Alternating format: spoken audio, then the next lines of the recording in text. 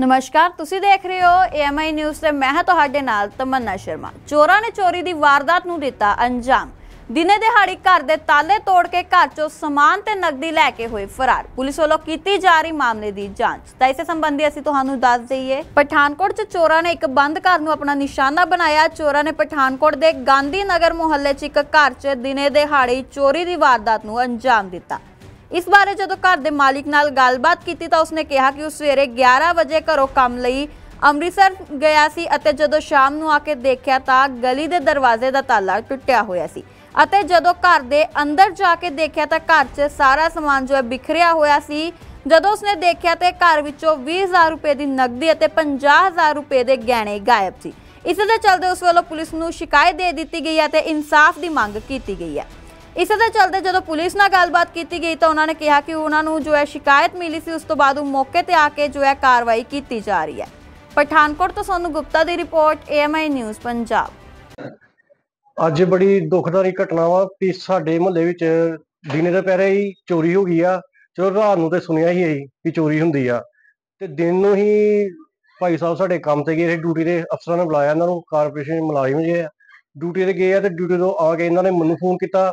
ਪਹਿਲਾਂ ਤਾਲਾ ਖੋਲਿਆ ਘਰ ਆ ਕੇ ਫਿਰ ਇਹਨਾਂ ਨੇ ਮੈਨੂੰ ਫੋਨ ਕੀਤਾ ਮੈਂ ਆਇਆ ਘਰ ਤੇ ਸਾਰਾ ਸਮਾਨ ਇਹਨਾਂ ਦਾ ਵਿਖਰਿਆ ਪਿਆ ਸੀ। ਤੇ 18000 ਰੁਪਏ ਕਹਿੰਦੇ ਨਗਦੀ ਸੀ ਤੇ 50 ਚ 50000 ਦਾ ਸੋਨਾ ਲੈ ਕੇ ਚੁੱਕੇ ਆ। ਕੀ ਨਾਮ ਆ ਆਪਣਾ? ਮੇਰਾ ਨਾਮ ਸਰ ਰਾਜ ਕੁਮਾਰ। ਕੀ ਗੱਲ ਹੋਈ? ਮੈਂ ਗਾਂਧੀ ਮਹੱਲੇ ਦਾ ਰਹਿਣ ਵਾਲਾ ਤੇ ਕਾਰਪੋਰੇਸ਼ਨ 'ਚ ਮੈਂ ਡਰਾਈਵਰ ਹੈਗਾ।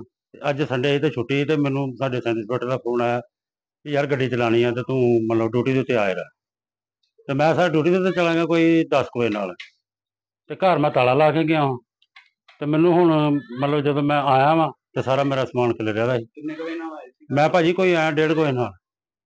ਕਿੰਨੇ ਕੁ ਵਜੇ ਨਾਲ ਚੋਰੀ ਹੋਈ ਤੇ ਮੈਂ 10 ਕੁ ਵਜੇ ਨਾਲ ਚਲਾ ਗਿਆ ਜੀ ਮੇਰੇ ਤੋਂ ਬਾਅਦ ਹੀ ਹੋਈ ਹੈ। ਤੇ ਪੁਲਿਸ ਕੰਪਲੇਂਟ ਪੁਲਿਸ ਕੰਪਲੇਂਟ ਭਾਜੀ ਕੀਤੀ ਆ ਰਹੀ ਪੁਲਿਸ। ਹਾਂਜੀ। ਕਿੰਨੀ ਨਗਦੀ ਲੈ ਗਏ?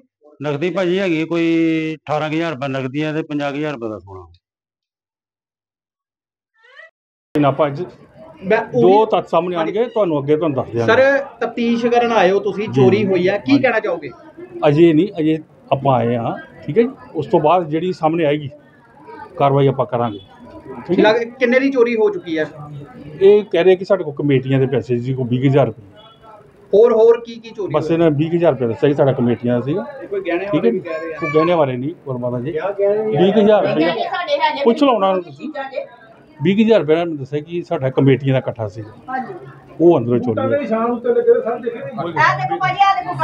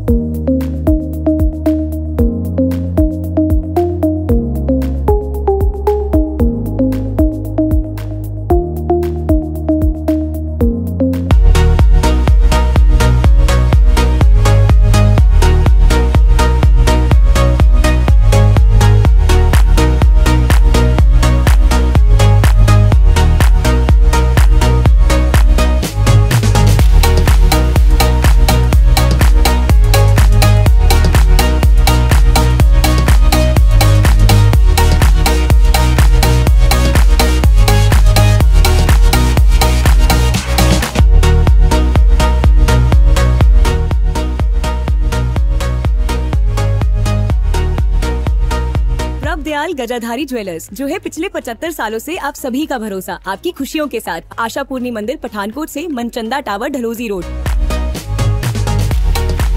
प्रभ दयाल गजाधारी ज्वेलर्स जो है पिछले 75 सालों से आप सभी का भरोसा आपकी खुशियों के साथ। आशा पूर्णी मंदिर पठानकोट से Manchanda tower Dalhousie road.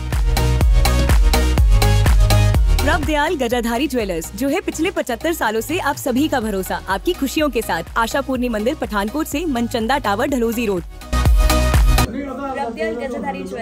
Manchanda road Pathankot. कहीं सुना है रिटेल की दुकान पर होलसेल का दाम? जी हाँ नव्या लेकर आया है डिज़ाइनर सूट्स, कुर्तीज और फैब्रिक्स सबसे सस्ता सबसे अच्छा defence road Mamun Pathankot. Contact nine six one four one nine six one four one